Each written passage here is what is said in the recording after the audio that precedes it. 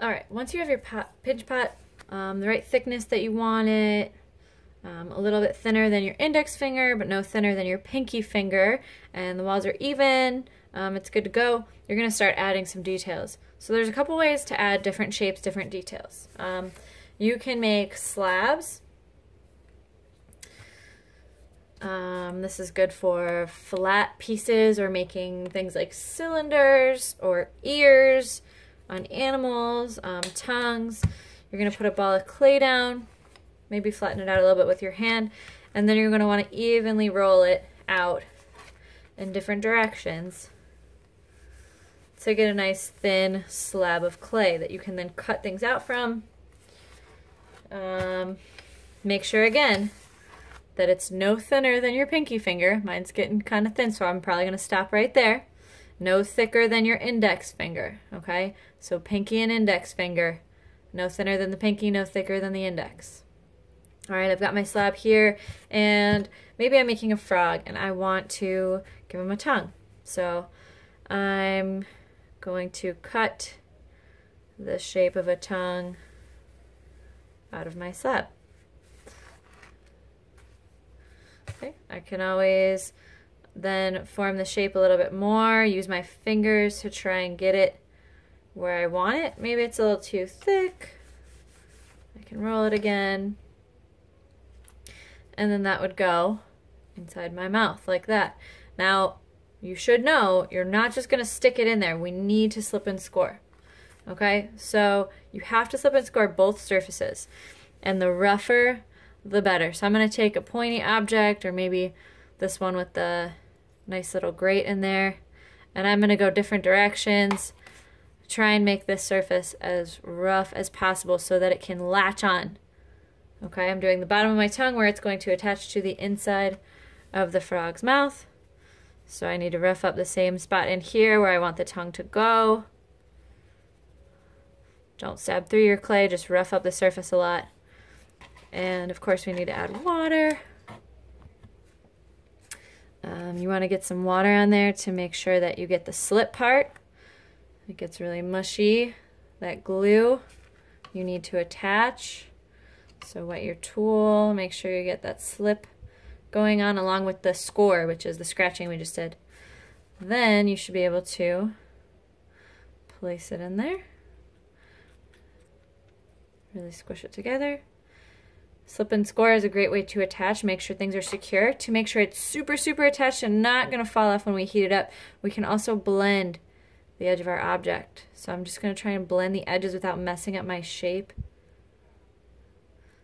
I can blend the back of the tongue so that it's smooth inside the mouth, but I want to keep my edge. See how I'm using the tool different over here?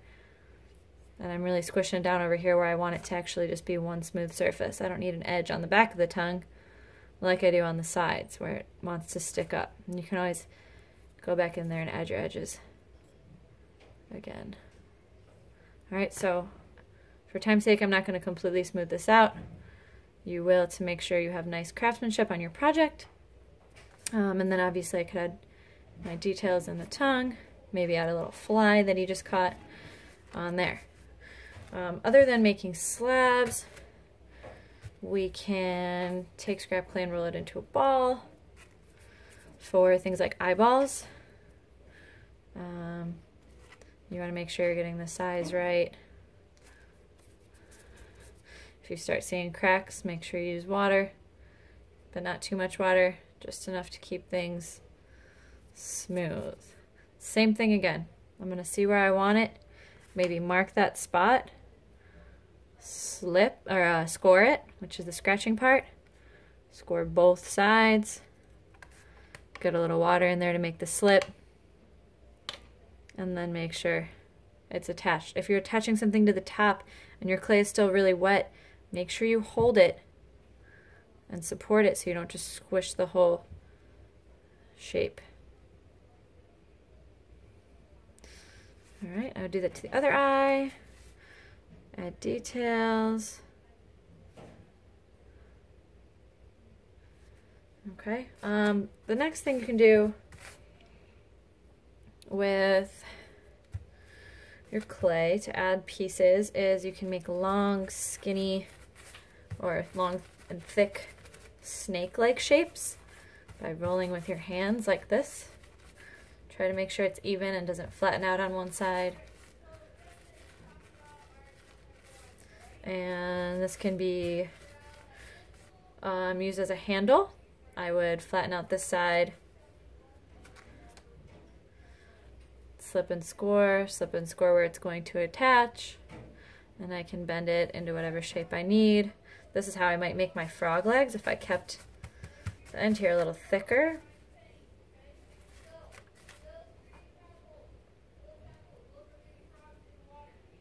I might create a little frog leg for the side. Okay, in this case, I would definitely scratch and score the inside of the leg and where it's going to attach before sticking it on. And then the last technique we have for adding pieces, um, we're going to go back to that slab method for a second.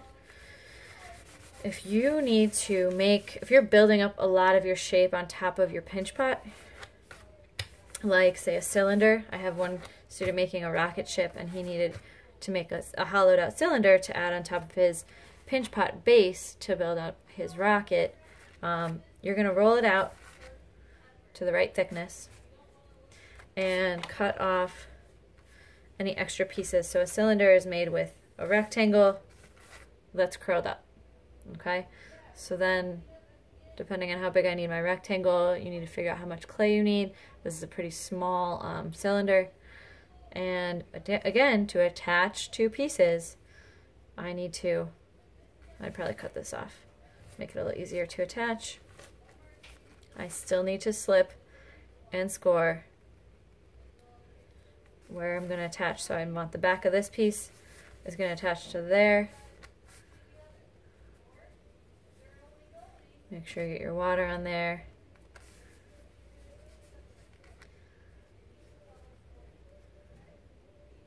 Get it attached, and then blend it to make sure that it's super secure. Your blending with your tool might look pretty messy. It's always a good idea to do a finishing touch blend with a little water on your finger to make that surface nice and smooth so that you can't even tell where you attached it, okay?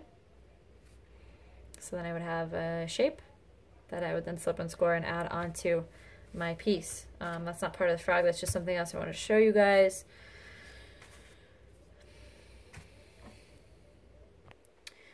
So get creative with those techniques to figure out how to make the pieces that you need for your sculpture. Um,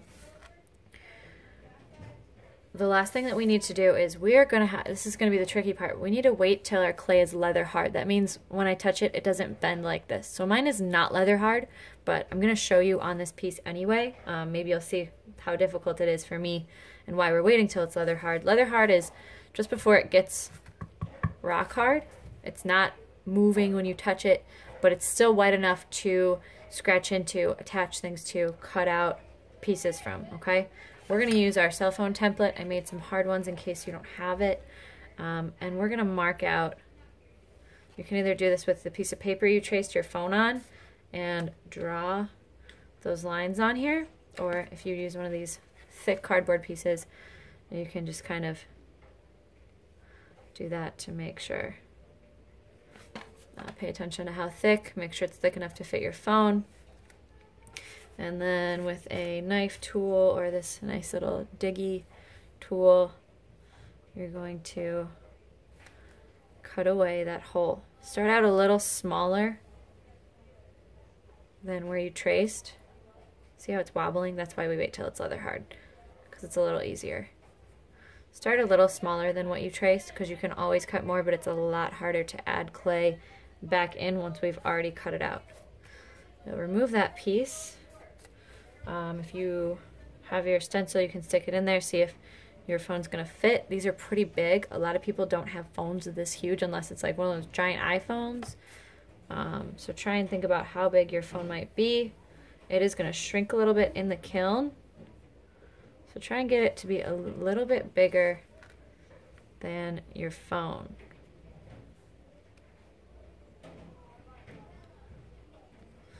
This will go a lot smoother and be a lot less yucky looking when you guys wait till it's leather hard. Right, and then of course we're gonna wanna neaten up this area. So get a little water, smooth it out, make that hole nice and clean. You wouldn't want your phone getting scratched when you slide it in here to use. So slide it in, uh, smooth it out, make it look nice. Don't make any dangerous corners. And hopefully your phone will be able to fit right in there and a downward angle so that the sound projects out the mouth or the opening. Again, make sure your name is on the bottom. I'm gonna write my initials C L um, where we can see it and feel free to add any finishing touches with your tools carve into your clay different designs smooth it out and have fun